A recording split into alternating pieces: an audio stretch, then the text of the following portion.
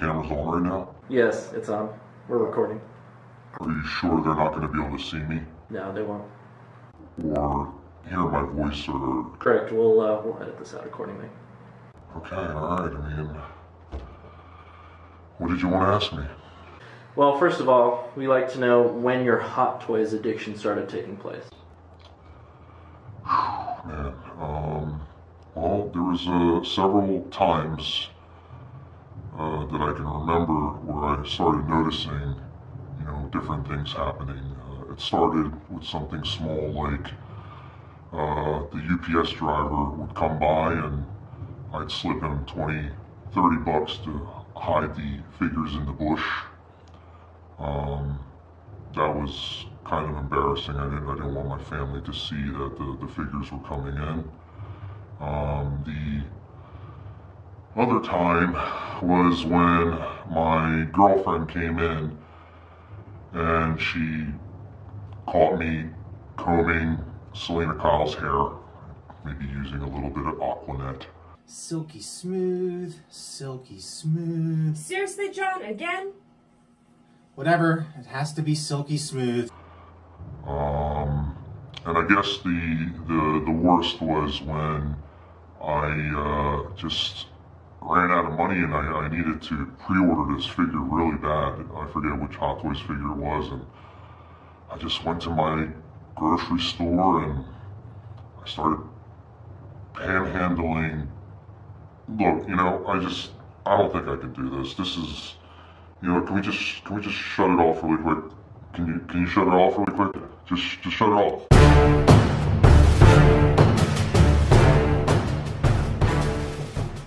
Welcome back, Sideshow fans and Hot Toys collectors.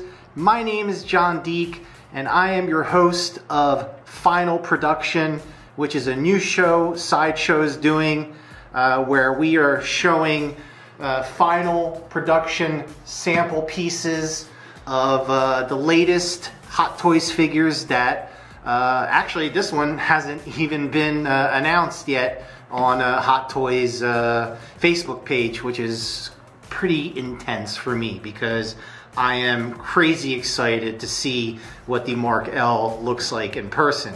Before I dive right into it with this figure, I just want to take a quick minute and discuss one particular thing about this figure uh, because it's kind of caused a lot of controversy in the groups and I think it's worth mentioning. Um, you know, as I mentioned to you before in my previous video with the Thanos review, is that I am the founder of One Sixth Society, which is a uh, Facebook, uh, you know, social group community where uh, you know a lot of collectors come and share photos and so forth. And I remember when this figure announced and the price was revealed. It was 400 and I believe either 406 or 407 dollars. I remember going to sleep that night and waking up and having well over 140 new individual posts of uh, you know Hot Toys collectors fairly upset about the price. I actually had to go in and kind of delete all of them and consolidate it into one giant post so people could vent. So the truth is that this figure is 406 or 7 dollars and we're going to find out, you know, if that is justified or if it's, you know, worth you spending your hard-earned money on this figure. With that said, let's go over the box. Ladies and gentlemen, in front of me I have the Mark L box and I just can't believe that I'm about to see this figure and, and actually get to hold it and review it. Um, it's probably one of the most highly anticipated Iron Man figures to release in a very, very long time. And I'm going to do my best to give this review the, the honor and the descriptive criticism it deserves for all of my fellow collectors out there. I'm going to begin just by simply going over the box and uh, let's start that right now. So you're going to have a standard slide box where it slides up and slides down and you're going to have the artwork of the box on the front, along with Iron Man Mark L 1 6 scale collectible figure, MMS 473 D23. And then embossed in gold at the bottom is going to be Marvel Avengers Infinity War, Hot Toys, Movie Masterpiece, and then this is a die cast figure. Now, if I rotate it to the side, you're going to get some more artwork of the figure. And again, you're going to have Iron Man Mark L. Let's go to the other next side right there. Same thing, more artwork over here, Iron Man Mark L. And then on the back of the box, Iron Man Mark L 1 6 scale collectible figure. Hot Toys presents. You're going to have your official Hot Toys hologram and so forth. When you slide the cover of the box off, you're going to have this really unique black and white illustrated artwork of the Mark L. And if you rotate it to the side, you're going to have a little Iron Man logo of his helmet. And on the other side, the artwork will just continue. And on the back of the box are the superstars who actually worked on creating this figure, which would be Howard Chan. Uh, we all know him, uh, JC Hong, and several other members of the Hot Toys team. If you're an Iron Man diecast collector like myself, you're already used to the foam box on the inside. Uh, each one always has the mark of the figure, and in this case, it says Mark L. Now that I've showed you all the box, I am crazy, crazy excited to just get it open, set him up, and show you exactly what this figure can do. All right, collectors, I have the Mark L set up here, and the very first thing I just want to get right onto is the stand and show you guys the stand up close. It is a bendy pole stand, so you're going to be able to, you know, pose him and into different types of uh, flight poses. And then he has a waist grabber that opens and closes and that you are able to adjust by sliding up and down simply by loosening this screw. The uh, bendy pole will simply just pop right in there like that and you have the beautiful Avengers Infinity War artwork. Um, it's pretty much the same design as all of the other Avengers Infinity War figure stands. Uh, this one in particular will say Iron Man, and at the bottom it will say Marvel 2019 Hot Toys Limited, all rights reserved. Moving on to the accessories. I am going to start first with this little piece right here, which I'm going to try to get to focus properly. And this is actually a part that goes into the neck section of the figure. Uh, it's basically an addition uh, to the collar if you are using the Robert Downey Jr. head sculpt. And I'll show you how to put this on later on in the video. Then you're going to receive a total of six hands. Let me show you those hands. The first set of the hands are going to be the rubber hands that are not posable. And let me try to give you really nice close up so you can see all of the details. Let me get my camera to focus on the paintwork for this hand. And these hands also do light up. The repulsors will light up when you attach them to his arm. But as you can see, just all the little intricate details that you, uh, you know, you've gotten used to with Hot Toys Iron Man figures. You can see some scratches there for, from some battle damage. And uh, same with this arm. I'm sorry, same with this hand right here.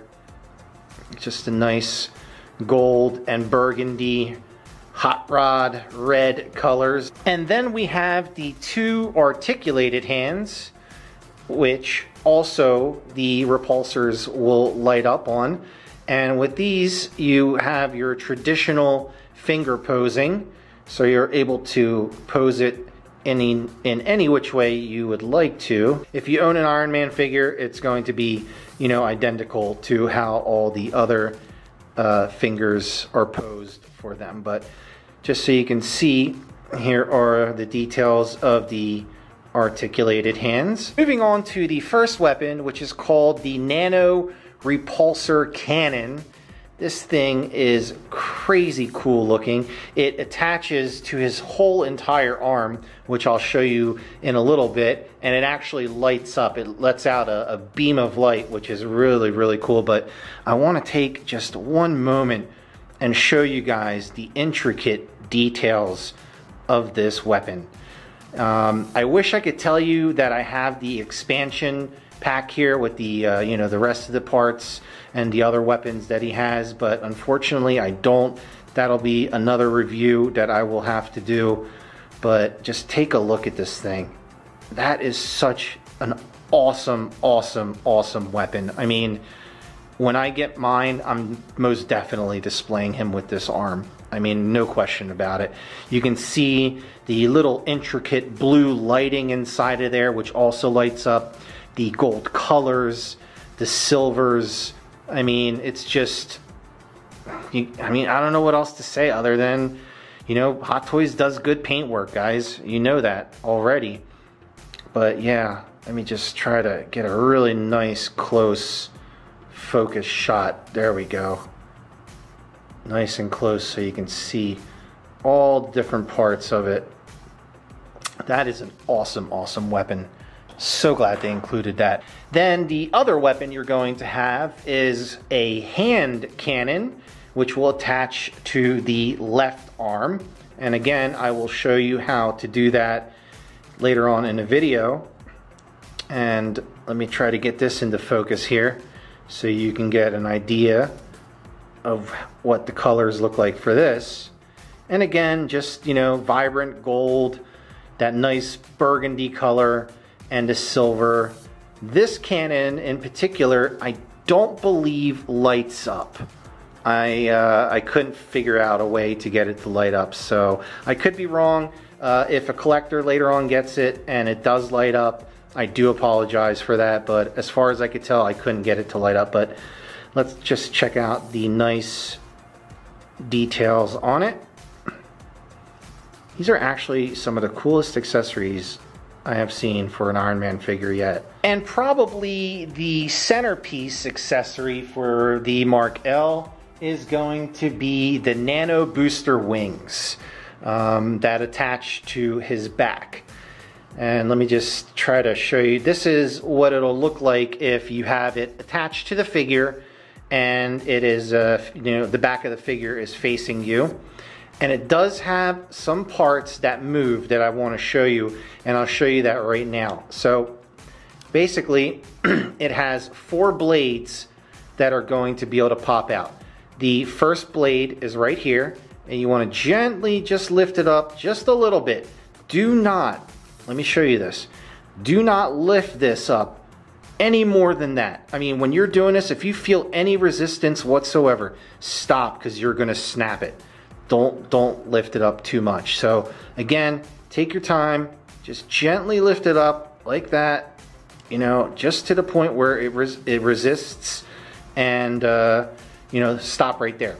Over here on the other side is going to be another blade where you're just going to slide it out, and again on this side, slide it out. And those are exactly the only parts on the Nano Booster Wing that you are going to be able to articulate. And the final accessory is the Robert Downey Jr. Tony Stark head sculpt that comes with the Mark L.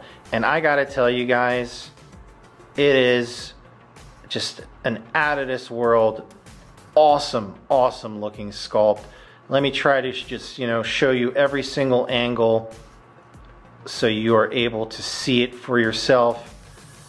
It is sculpted hair as, you know, all of the Iron Man figure head sculpts are. But just a full 360 because I know I know you Iron Man collectors. if I miss one thing, you guys will, will crucify me. So I want to make sure I do a really good job. There's a really awesome side profile view. I'll, I'll leave it like that just for one second.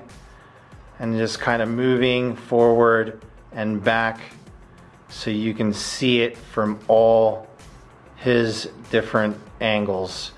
And that, my friends, is most definitely RDJ and Tony Stark in one. I'm gonna take a moment and show you exactly how to get all of these accessories installed onto the Mark L. So this way you kind of can use this video as a future reference so you don't have any difficulties in getting uh, anything installed. So with that said, let me show you how to install the head. Installing the Robert Downey Jr. Tony Stark head is really simple. All you want to do is first take this mask off so you don't run the risk of having it fly off or, or pop off and cause damage.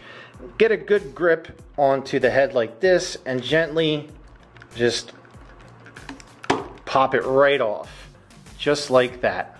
And you're going to notice that there is a ball joint inside there and that the neck and the uh, Iron Man helmet is connected. But if you wanted to, let me try to get it to focus, you could potentially pop this off also, which is a little bit of a pain in the butt, but it does come off. In preparation to getting the Tony Stark head sculpt on, you want to take that little neck collar part that I showed you in the beginning of the video and it's going to be facing upwards like this and what you want to do is on an angle like this tuck it in behind the ball joint let it go down and then kind of just give it a little bit of a push and that's going to create the collar that you need to hide the neck for the Tony Stark head sculpt.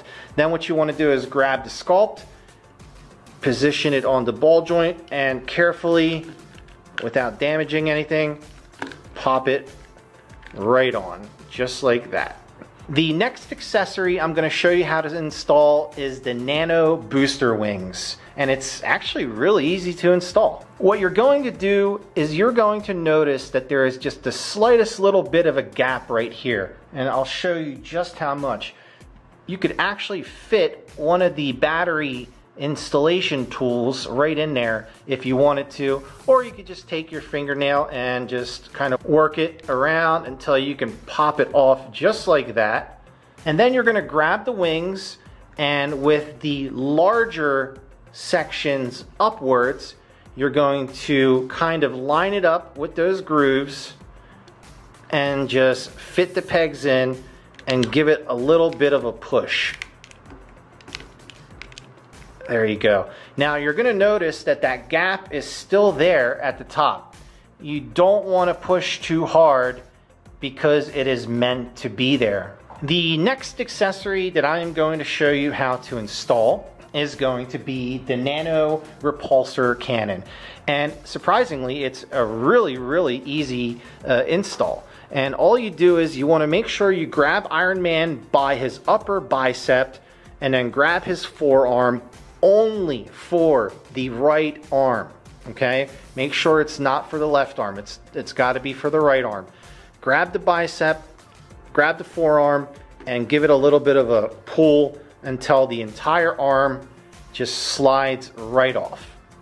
And then what you want to do is grab the nano repulsor cannon and with the silver part facing upwards and the gold part facing downward, you're going to just slide it right into place, just like that. And there you have it. It's officially installed, which is uh, pretty darn awesome. That is such a cool, cool accessory. I'm like totally in love with this figure already. Um, moving on, let's keep, let's keep going so uh, I can keep showing you guys everything else. The final accessory I'm going to show you how to install is going to be the hand cannon and that is actually going to go on this arm here which is the left arm The easiest way I found to install this would be to pop off the fist like so. And underneath here, you're gonna have a little bit of a, a groove where you're able to just kind of pry this piece, you know, nicely and carefully off, just like so. And you take your hand cannon and you find the two holes over there and just match it up like so and pop it on just like that. Pretty, pretty simple. And you can later on put your fist back on. Let's, let's go ahead and try to get the fist back on too. Perfect. And that just looks awesome. That is so cool. Gosh, I'm, I'm in love with this figure already. Now that I have all of the accessories installed, I want to go over the articulation uh, for the figure. Um, just really quickly, if you've owned any of the Hot Toys diecast figures, uh, the articulation is very, very similar, but I do just want to take a moment and go over it with you. The first thing uh, we'll go over is the articulation of the shoulders. You're actually able to grab them and slowly pull each one out to extend them to about right there. And it's worth mentioning that the shoulder pads here are actually metal and they're spring loaded. They don't come forward like some of the other ones. So don't try to pry it or it may break. You're able to raise his arms up and potentially go to about right there. You could maybe do a 360, but you run the risk of scratching the side armor paint. I wouldn't do it if I were you. Same with this arm, you can go up to about right there. You're also going to be able to lift the shoulders up to about right there, I would say, is the safe zone. And you're able to articulate the elbows to this degree. And let me show you a side view for both.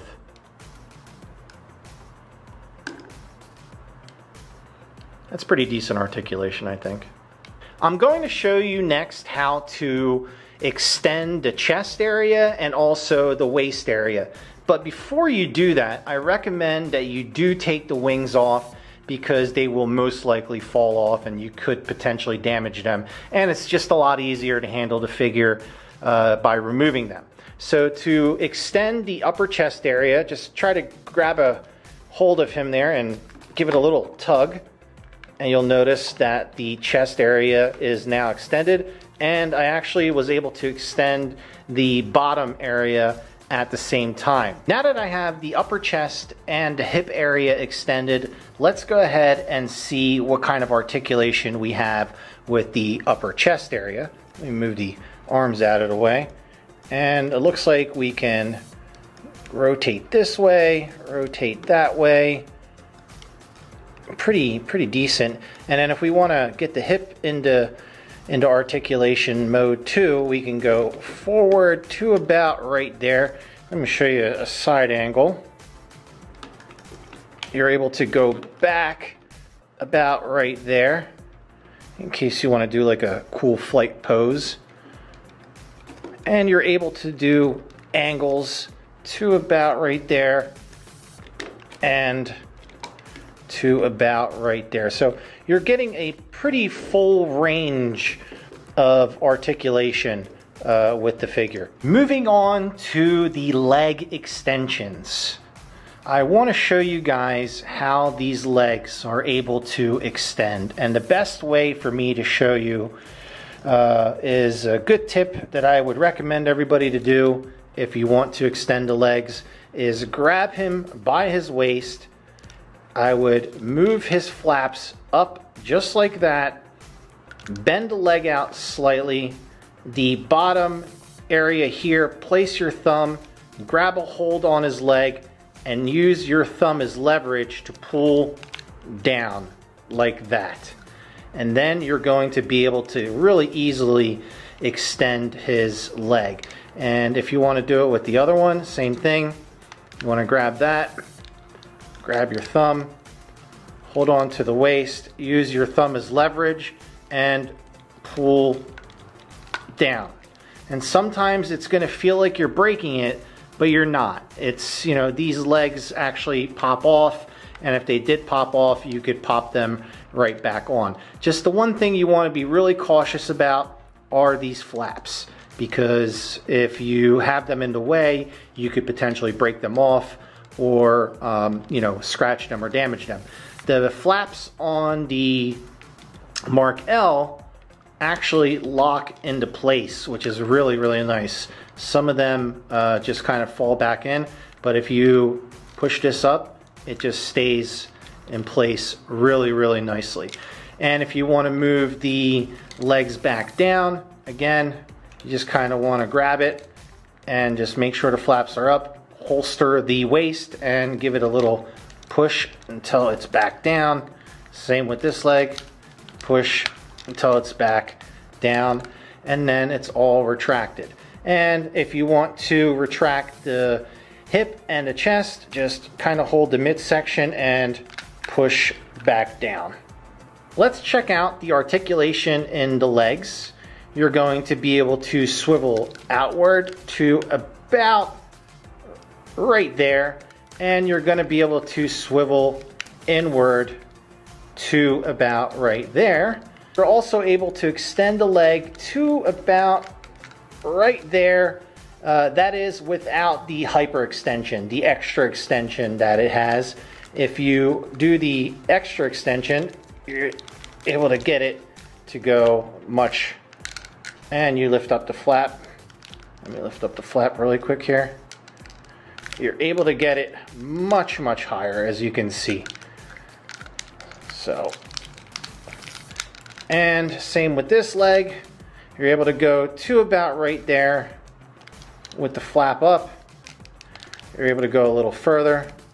So let's go ahead and see what how far it can go with both legs fully extended. You're also able to move these two little flaps up just to get the slightest bit more extension if you want. But now both legs are hyperextended and I'll show you that you can pretty much go all the way up like that. So that's a pretty darn good articulation when it comes to the hip area and the top of the legs.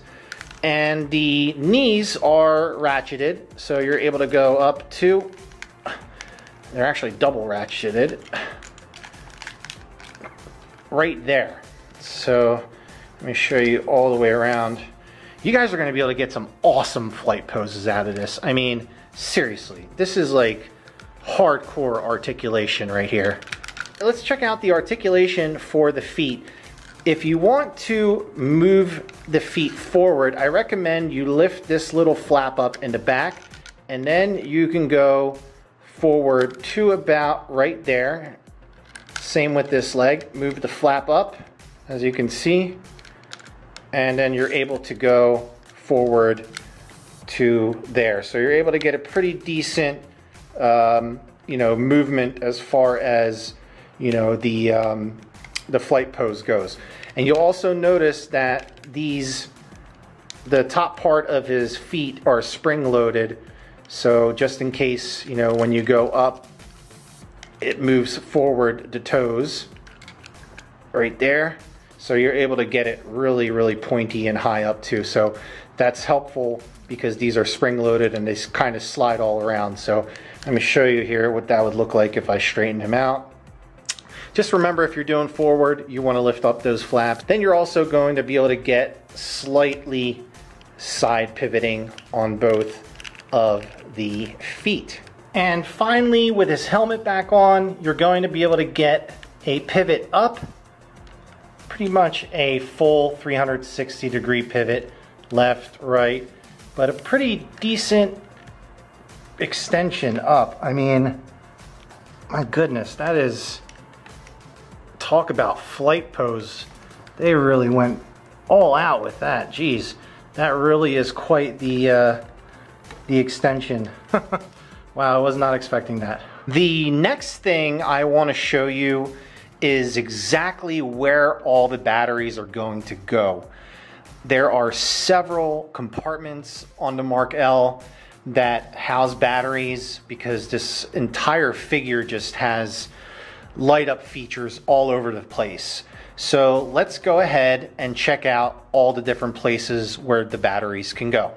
Both legs are going to have battery compartments in them along with the on and off switch. The way you access this panel is simply just take this upper part of the thigh and just pull it back carefully until it pops right out.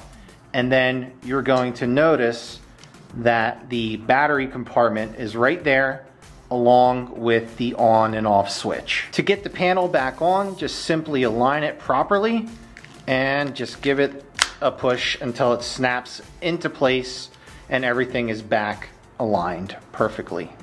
You're going to do exactly the same thing on the other side of the leg, just simply pull out the side panel and you're going to notice that there's also a battery compartment here and the on and off switch. To put back the panel, all you're going to do is just simply line it up and pop it back into place. The next section that has a battery compartment is going to be the back. The back has a little tiny notch right here that you could fit your fingernails in and just pull back this whole entire back area compartment and that's what it's going to look like and you'll have your battery compartment here and your on and off switch right there to replace the back part just put it back right there and give it a little push. Try not to push too hard at the top. That gap is actually meant to be there. On to the lights in the biceps. These are a bit tricky. What I would recommend is the first thing you want to do is extend the shoulder as far as you can get it. And you want to rotate the bicep up like this to get it out of the way. And you're going to notice that there is a part back here, right over there, that is the back of his bicep. You want to slowly but carefully put your fingernail on the top and just release it like so and that part is going to come off. Now, for this section on the bicep, this is only going to be the battery compartment. To access the on and off switch, you're going to need to remove another part, and I'm going to show you that right now. So to access the on and off switch, there is going to be a silver compartment, let me get that on camera, right there that you're going to want to put your fingernail in, pull out, and there you see the on and off switch. And it's actually going to be the exact same way on the opposite side. The final battery compartment housing is going to be inside of his helmet. You're going to simply lift it off and you're going to access the battery compartment here and also the on and off switch right there. I have the lights dimmed down so we can see all of the lighting features for the Mark L. We're gonna start here with his helmet and slowly pan out so you can get an idea of what the lights look like on this figure. And he's got a lot of, lot of lights. Moving around the body, so you can see all of the lighting. Getting a little closer so you can see the chest area and the bottom of the chest and of the hips. And a straight on shot so you can see the lights straight on. The back of his bicep also lights up as you can see. And his back also has sections where it will light up. And possibly the coolest accessory ever is the Nano Repulsor Cannon, which also totally lights up. as you can see, that is a pretty awesome shot right there. Comparison time. So I have the Mark 50 or Mark L, whatever you want to call him, uh, next to a diecast Mark III and the diecast Iron Patriot. So you guys can see for yourselves the size difference. Um, I can tell you right now, right off the bat, that he is definitely uh, taller than the Mark III, and he is definitely bulkier than Iron Patriot, especially uh, in the chest area. And by looking at it, he is also slightly taller than the Iron Patriot as well. From a side profile, you'll be able to see, you know, again here that he is taller than the Mark III, taller than Iron Patriot. Those wings look so good. Man, they're so awesome. But that is a nice size comparison for all you uh, die-cast hot toy Iron Man collectors. That's such a pretty shot, seriously. Wow, that looks so cool. Final thoughts. What do I think of the Hot Toys Mark L Infinity War Iron Man diecast figure? Well, the first thing that I can say is that the figure is outstanding. It is absolutely gorgeous figure. Probably the coolest accessories any diecast Iron Man figure has received to date, in my opinion. The paintwork is just phenomenal. The articulation is crazy. I mean, you can get some really crazy articulation out of this. The wings, the cannons, the nanotechnology weapons that you receive, all of the interchangeable parts are completely awesome. If you're a collector and you pre-ordered him, you're absolutely going to love him without a doubt. With that said, what don't I like about this figure? Well, it's the elephant in the room, guys. It's the cost. You know, it's a 406 or $7 figure. You know, granted, you do get these extra accessories that you normally would not get with some of the other Iron Man figures. They're bulkier, more detailed accessories, but he is an expensive figure.